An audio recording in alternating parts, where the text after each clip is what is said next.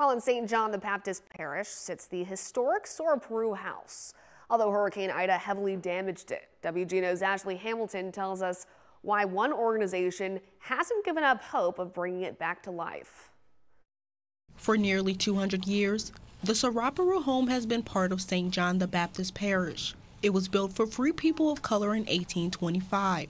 Within the walls, lies many memories. We're on the German coast. German immigrants came in, they were farmers, they started raising produce. Fast forward to 2021, Hurricane Ida blew a large tree on the house, damaging it.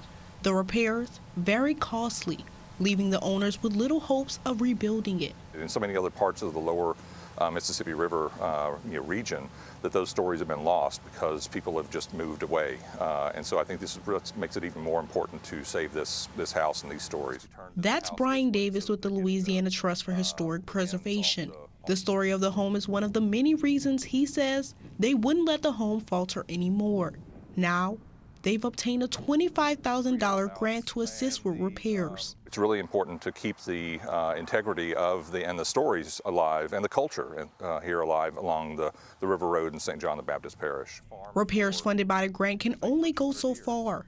To keep the home and its story alive, donations are needed. It's an area that is very uh, vulnerable right now for the potential of encroachment of industry. We've gotten some estimates from uh, preservation contractors, and uh, we need probably an additional 35000 in order to complete the project. Davis believes the stories of middle-class free people of color who owned and farmed their land should be told.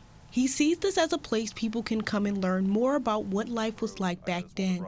Generations have lived here on this land. I mean, I think that with tourism that comes here to learn about the stories and learn about this part of America's history, that it's, it's really uh, uh could be a benefit to them, but also doesn't force them out.